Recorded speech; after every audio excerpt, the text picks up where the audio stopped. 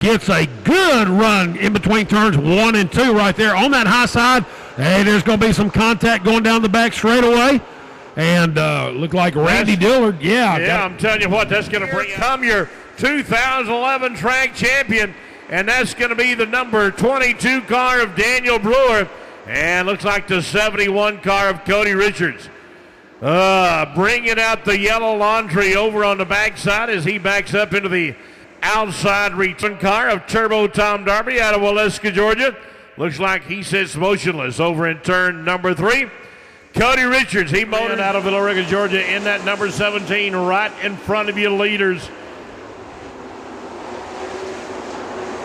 James Adams out of Calhoun in the number 21. There goes car number eight. That's William Payne out of Woodside, Georgia. And there goes your leader.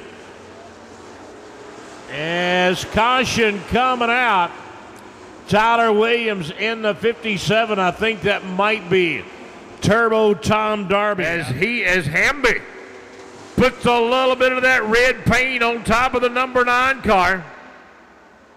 Behind Ronnie Johnson. Whoa!